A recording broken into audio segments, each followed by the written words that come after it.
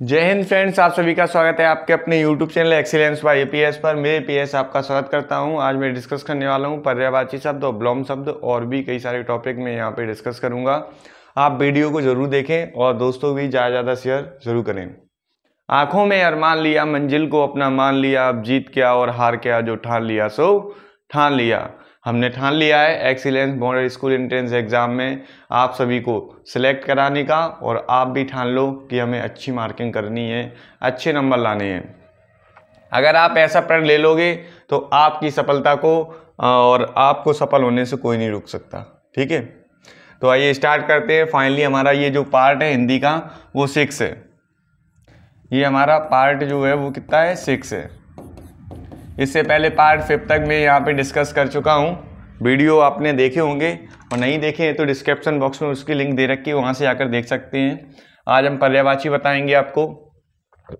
जिन अर्थों के, जिन शब्दों के अर्थ में समानता और हो तो नहीं हम पर्यावाची शब्द कहा जाता है। जो भाषा जितनी संपन्न और विकसित होगी, उसमें उतने ही अधिक पर्यावाची शब्द होंगे। इसके संबंध में यह स्मरण रखना चाहिए कि अर्थ में सामान्यता रहने पर भी एक शब्द के स्थान पर दूसरे शब्दों का प्रयोग साधारणता उपयुक्त नहीं कहा जा सकता। इसका कारण यह नहीं, यह है कि संदर्भ अथवा प्रसंग के अनुरूप किसी स्थान पर एक शब्द प्रतीत होता है तो दूसरे स्थान पर उसका पर्यावाची शब्द उपयुक्त लगता है। यानी पर्यावाची शब्द को सीधे से आप ऐसे भी समझ सकते हो कि जैसे मान लो एक व्यक्ति होता है, उसका स्कूल का नाम कुछ और होता है, घर का नाम कुछ और होता है। और और कहीं जाता है तो जैसे ममाने जाएगा तो उसका वहाँ पे कोई नाम और होगा। तो इससे ये रिलेट कर रहे हैं हम चीज़ों को कि जैसे व्यक्ति एक ही है, नाम उसके तीन तीन है तो उन्हीं शब्दों को जो एक ही व्यक्ति के तीन नाम लिए जा रहे हैं, वही क्या है? पर्यावाची शब्द हैं। तो यहाँ पे कुछ पर्यावाची शब्द दे रखे हैं। उनकी हम प्रैक्टिस करेंगे एक्सीलेंस के एग्ज़ाम की दृष्टिकोण से। यहाँ से आपका एक नंबर बन जाता है और एक नंबर बनता है ब्लॉम शब्द से। तो इसको ध्यान से ज़रूर देखें। अग्नि अग्नि का पर्यावाची होता है पावक, अनल, आग और हुताशन। तो ये कई बार आ चुका है, इम्पोर्टेंट है। अनुपम, अपूर्व, अनोखा, अनूठा, अतुल। अमृत, सुधा, पीयूष। अरण्य, ये भी आ चुका है। जंगल विपिन वन, कानन। आँख का ये भी आ चुका है, नेत्र लोचन, तिछु, नयन, अच्छी। आकाश, गगन, व्योम, शून्य, ये भी आ चुका है। आनंद का मोद, प्रमोद, अमोद, प्रसन्नता, उल्लास। आश्रम का भी आ चुका है मट बिहार आखड़ा, संग। इंद्र, सुरपति, मधवा, पुरंदर और सचिपति। कपड़ा का क्या होता है? वस्त्र, पट, अंबर, चीर आदि। कमल का क्या होता है इंपोर्टेंट है ये सरोज जलज नीरज पंकज और अरविंद ये आ, आ भी चुका है आपके एग्ज़ाम में ठीक है? नेक्स्ट सभी बच्चे प्रैक्टिस ज़रूर करेंगे अच्छे से। और कोई भी डाउट आता है तो कमेंट सेक्शन में ज़रूर पूछिएगा।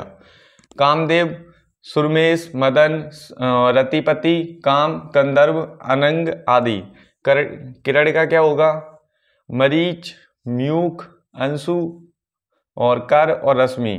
कुबेर का क्या होगा? किन्रेश यक्ष यक्षराज, धनंद, गजराज आदि। कोयल का क्या होगा? कोकला, पिक बसंत दूत काकपति आदि। गणेश का क्या होगा? लंबोदर, एकदंत, गजान गजबंदन विनायक आदि। ये आ चुका है आपका, ठीक है? गंगा देव नदी सुरसरिता, भागीरथी जहाबी सुरधनी आदि। ये भी आ चुका है।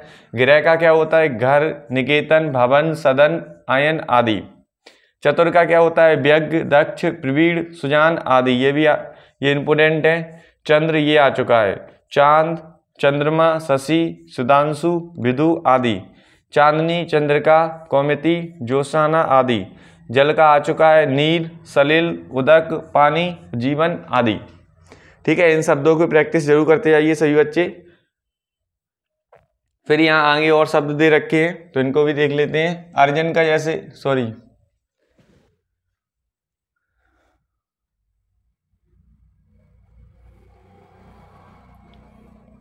फिर यहाँ पे शब्द और दे रखे हैं। जैसे आप देख रहे होंगे, इनको प्रैक्टिस ज़रूर करते जाइए। यमुना, जैसे सूर्य तन्य कालिंदी और चिड़ेजा कृष्णा। तालाब का क्या होता है? सर, सरोवर, पुरस्कार और जलाशय। इंपोर्टेंट है। तोता का क्या होता है? सुख सुगा कीर और सुग्गा। दास का क्या होता है? अनुचर, चाकर और किंकर और परिचारिक। दुख का क्या होता है? पीड़ा, व्यथा, संकट, शोक, यातना। दुर्गा का क्या होता है? चंडिका अभ्यय कलिका सांबी। देवता का क्या होता है? सुर, अमर, देव, अजर और विभूत। नदी का क्या होता है? सरिता, तटनी आपंगा आदि। पत्नी का क्या होता है? भार्या, दरा, दारा, बधु, बहु और बधु। पर्वत का क्या होता है? आ चुका है। पहाड़, सैल, गिरी, भूधर, अचल, नग। पक्षी का क्या होता है? भियग, खग और पे, पेखरू और अंडज। पार्वती का होता है उमा, गौरी ईश्वरी भवानी, आर्य आदि। पुरंदर का क्या होता है? इंद्र, सुरेश मधवा सुरपति आदि। पुत्र का क्या होता है? तनिया, सुत, बेटा, लड़का, आत्मजय आदि। पुत्री का क्या होता है? तन्या, आत्मजा, दोहेता और तनुजा आदि। पृथ्वी का क्या होता है? भू, इला उबरवी मैदनी और धरती आदि। पुष्प का क्या होता है? कुसुम, प्रसून सुमन, फूल आदि। बिजली का क्या होता है? चंचला, चपला, सौदमिनी, क्षण प्रभा आदि। ब्रह्मा का होता है आत्मभू, स्वयंभू और चतुरानंद। ठीक है? फिर यहाँ आगे भी दे रखे हैं इसके। पर्यावाची शब्द तो इनको भी देख लेते हैं। फिर यहाँ दे रखा है आपका मछली, मत्स्य जल जीवन ये भी इम्पोर्टेंट है झीक और मीन। महादेव, ईश, पशुपति, शिव, महेश्वर आदि। मुनि का, यति अवधूत, सन्यासी, बैरागी आदि, रात्रि का सरवरी, निशा, रजनी, तमी आदि। रमा का क्या होता है? कमला, लक्ष्मी, पद्मासना आदि। बाण का क्या होता है? तीर, खर विशिग ईसु आदि। वृक्ष का होता है? इम्पोर्टेंट भी है। द्रुमु पादुप, पटप, अगम आदि। व्योम का होता है? आकाश नव गगन और पुरस्कार। ये भी इम्पोर्टेंट है। विष्णु का गरुणध्वज आचुत्य, जनार्दन और चतुर्भुज आदि। वायु इंपोर्टेंट है, हवा, समीर, अनिल और समीर। बादल का होता है जलधर जलज। समुद्र का क्या होता है? सागर, जलनिधि, पारावार, नदीस और बाराधी ठीक है नेक्स्ट फिर यहाँ पे दे रखे हैं आपके सरस्वती, ब्राह्मी, भारती, भाषा, बाक और गिरा। सोना का क्या होता है? सोवर्ण, स्वर्ण, कंचन, जातरूप, हेम। सूर्य का क्या होता है? मारतंड, दिनकर, पतंग, हंस। ठीक है, ये भी इंपोर्टेंट है आपके लिए। सिंह का क्या होता है? श्रद्धालु, व्यग, मृगराज, कहरी आदि। सुंदर का क्या होता है? सुरिच, सुचिर, सुहावना और रमणीक उत्तम। स्त्री का इंपोर्टेंट है नारी, विनीता, ललिना, कांता आदि। स्वर्ग का होता है घो सुरलोक, देवलोक। हाथी का होता है गज, हस्ती, कजर कुंजर और नाग। ये सभी हमने पर्यावाची शब्दों को यहाँ पर सीखा। ये आपके लिए बहुत ही ज़्यादा इम्पोर्टेंट होते हैं। हम सीखने वाले हैं विपरीतार्थी शब्द। पर्यावाची शब्द को हम समानार्थी शब्द भी कहते हैं। कई बार पूछा जाता है समान आर्थी शब्द किसे कहते हैं? ठीक है? समानार्थी। इन्हें हम पर्यावाची को ही कहते हैं। किसको कहते हैं? पर्यावाची को। जब ये पर्यावाची की जगह समानार्थी आ जाए तो एक ही मतलब निकलेगा। ध्यान रखना। ठीक है? तो आइए अब हम यहाँ पे ब्लॉम शब्द को डिस्कस कर लेते हैं। ये भी आपके एग्ज़ाम में एक नंबर के दृष्टिकोण से इंपोर्टेंट है। एक नंबर आपको मिल सकता है इनसे। विपरीत आर्थक शब्द मीन्स होता है ब्लॉम शब्द, ठीक है? जो शब्द विपरीत अर्थ उल्टा प्रकट करते हैं, उन्हें ही हम विपरीत आर्थक या ब्लॉम शब्द कहते हैं। अपने शब्दों के विपरीत अर्थ जो शब्द व्यक्त करते हैं, उसे ही हम क्या कहते हैं? ब्लॉम शब्द कहते हैं। जैसे सुख का जो ब्लॉम है, वो दुख होता है। इसी तरह से हम इन शब्दों की प्रैक्टिस भी करेंगे। आपको बताएँगे भी कि कौन कौन से क्वेश्चन आ चुके हैं और कौन कौन से आपके लिए इंपॉर्टेंट है, ठीक है? तो सभी को ज़रूर देखिए। जैसे ये क्वेश्चन आ चुका है, अनुराग विराग। उन्नति, अवनति, ये भी आ चुका है, अपना पराया, ये इंपोर्टेंट है। एक, अनेक, अपमान, सम्मान, कायर, निर्भीक। आवृचीन प्राचीन, कोमल, कठोर, ये भी आ चुका है। चर, अचर कृतज्ञ, कृतिघन, अलौकिक, लौकिक, कठिन, आसान, ये इंपोर्टेंट है। अनुज, अग्रज, आ चुका है ये। कोलाहल, शांति, अनभिज्ञ, भिज्ञ, ठीक है? फिर आगे भी दे रखे हैं।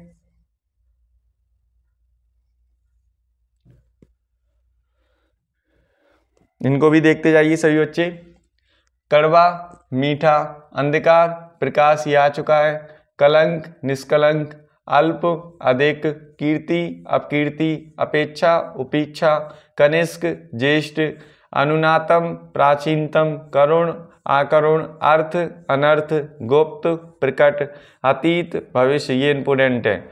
गौरव, लज्जा या फिर ठंडा?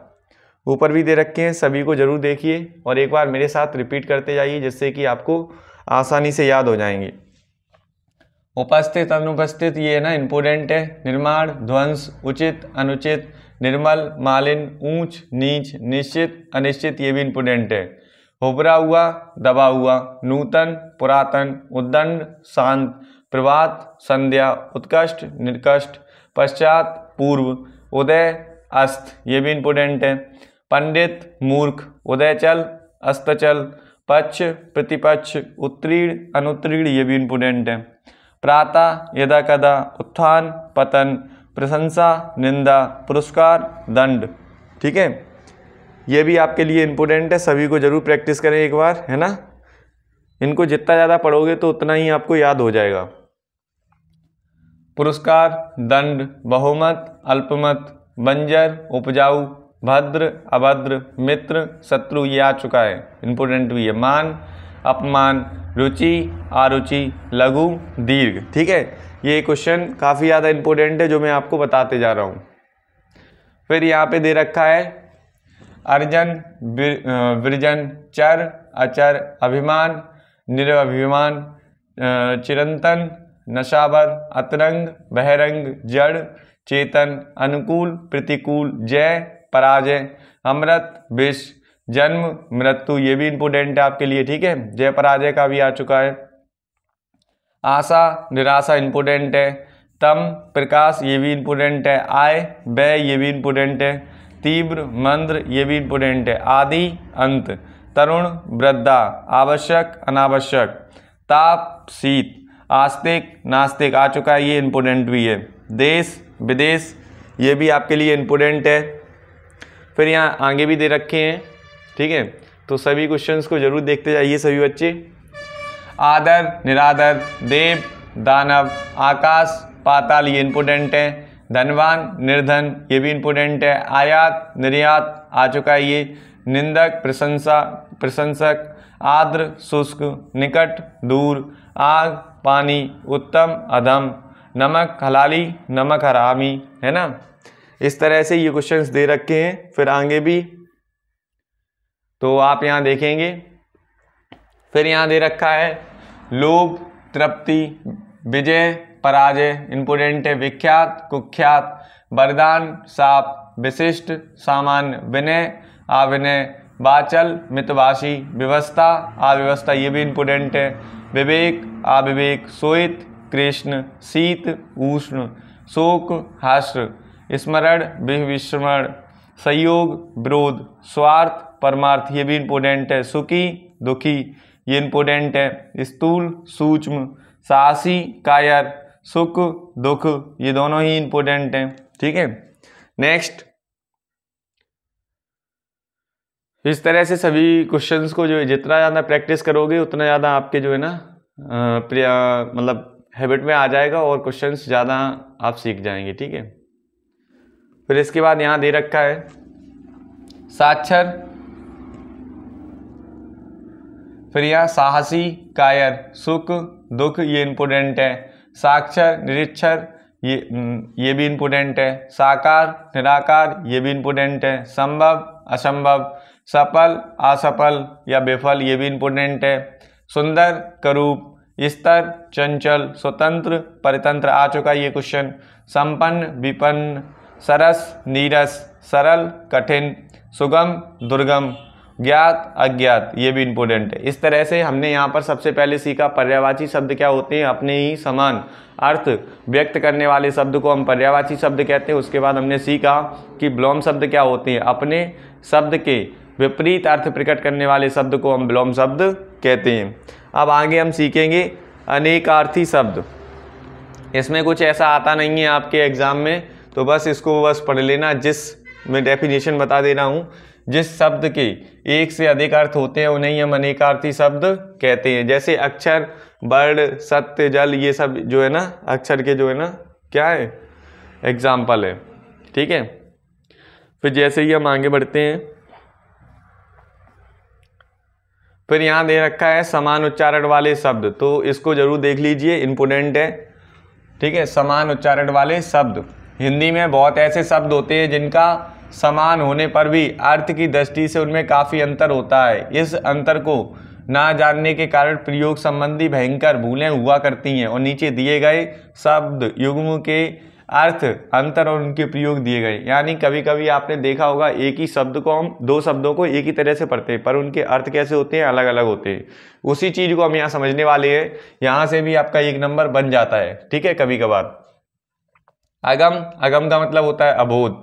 आगम का मतलब होता है शास्त्र सिर्फ़ आपको यहाँ पे शब्दों के मतलब समझना है अजर का मतलब होता है देवता या जो बूढ़ा ना हो और अजर का मतलब होता है आँगन अनिल का मतलब होता है हवा अनल का मतलब होता है आग ठीक है अपेक्षा का मतलब होता है चाह उपेक्षा का मतलब होता है निरादर फिर यहाँ पे दे रखे हैं आगे अली का मतलब होता है भौरा आली का मतलब होता है सकी अवलंब का मतलब होता है सहारा और अभिलंब का मतलब होता है बिना देरी किए हुए। अविवाहित मीस होता है विधि के विरुद्ध, या फिर अविहित मीस होता है कहा हुआ। अंश मीस होता है भाग, अंश मीस होता है कंधा। उपल मीस होता है पत्थर, उत्पल मीस होता है कमल। कुल मीस होता है बंश कूल मीस होता है किनारा। ठीक है?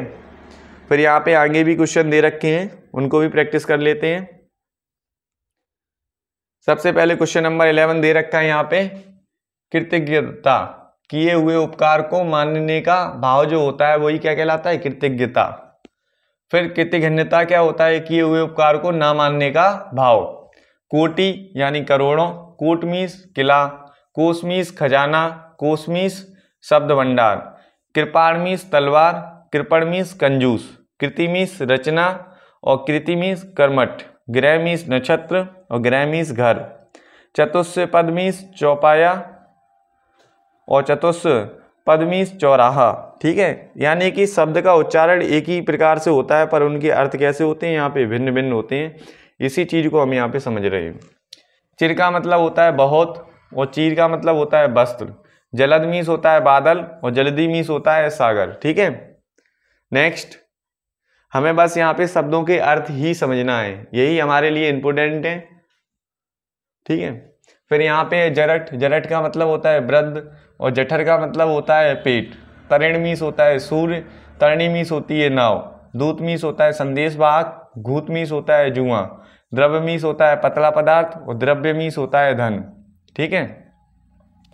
निर्धन मीस होता है मृत्यु और इसके बाद, और निर्धन मीस होता है गरीब। प्रथा मीस होती है रीति और प्रथा मीस होती है कुंती। लक्ष्य मीस लाख लक्ष्य मीस उद्देश्य। सूची मीस होती है तालका, और सूची मीस सुई भी होती है। सूक्त मीस होता है सुंदर कथन, ठीक है? आगे भी दे रखे हैं, इनको भी देख लेते हैं। फिर यहाँ और दे रखे हैं। सूक्ति मीस होता है सीप सूर मीस होता है वीर और सूर मीस होता है नेत्रहीन। सबजन मीस होता है कुत्ता सौजन मीस होता है सज्जन, ठीक है? इस तरह से ये जो क्वेश्चंस होते हैं, बहुत ही ज़्यादा इंपॉर्टेंट होते हैं आपके लिए। और आगे जो मुहावरे का टॉपिक है, वो मुहावरे, कहावतें, इनको हम नेक्स्ट पार्ट में डिस्कस करेंगे। अभी के लिए आपको वीडियो कैसा लगा कमेंट सेक्शन में ज़रूर बताइए। अगर आप व्हाट्सअप ग्रुप से नहीं जुड़े हैं तो आप सभी बच्चे व्हाट्सअप ग्रुप से ज़रूर जुड़ जाएँ। हमारा जो व्हाट्सअप ग्रुप जो नंबर है हमारा व्हाट्सअप का, वो ये है। अगर आपको कोई डाउट होता है तो आप मैसेज कर सकते हैं। कॉल नहीं कीजिएगा, ठीक है? मैसेज करके आप बात कर सकते हैं। बाकी आप excellence by A P S YouTube channel को ज़्यादा से ज़्यादा शेयर करें अपने दोस्तों भी जिससे उनका, उनको भी ये जो मैं करवा रहा हूँ सिलेबस को, वो भी इस सिलेबस को कर पाएँ। अगर आपको इससे संबंधित कोई डाउट आता है तो आप मुझसे पूछ सकते हैं। अभी के लिए बस इतना ही। Jai Hind friends Jai Hind students thank you for watching